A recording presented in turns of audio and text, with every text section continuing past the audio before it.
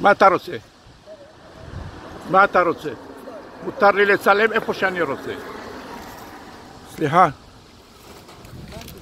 כן, מה, מה רצונך? מה קורה? מה קורה? מה שקורה זה קורה, נותן שוחד פה. אתה אל תפריע לי. גם אתה אל תפריע לנו. סליחה, אני מזמין משטרה עכשיו. רוצה. הנה, מפריעים לי לצלם העבריינים של פרוש. שימו לב, שני עבריינים. חסידים עם מעיל ארוך וזקן ארוך. לך מפה. אין. אני אצלם כמה שאני ארצה. לא תבנו פה.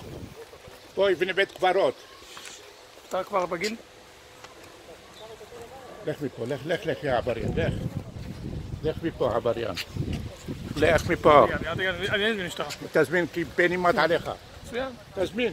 אני אזמין משטרה. תזמין, אני איך משטרה. עזאזל. חרדים מושחתים. הנה, אוי, תביא, תביא, תביא, תביא. חרדים מושחתים. לא יעזור לך, כבר צילמתי הכל. מצוין, יפה. מה עם הבית קברות? יפה. מה עם הבית קברות?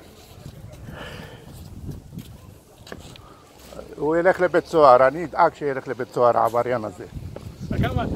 מה אכפת לך? לא נראה לי שתזכה לבית אתה לא תגיע לזה לגיל שלי, לא תגיע, לא אתה ולא פרוש. עם השחיתות שלכם, יא מופרעים. עבריינים. אני לא קשור, אני מצוות הצילום. אז מה אתה רוצה? ברשותך שנייה. כן. הם כרגע עושים את העבודה שלהם בתור צוות צילום. מה שאתה רוצה להגיד, תגיד להם, אין בעיה בשמחה נו, אז באהבה. מה אני- למי אני אבל זה מפריע לנו בפרנסה שלנו. בעבודה. הסאונד ששומעים, שומעים אותך אני ברקע. לא וזה- מדבר, אני לא מדבר. בסדר, שותק.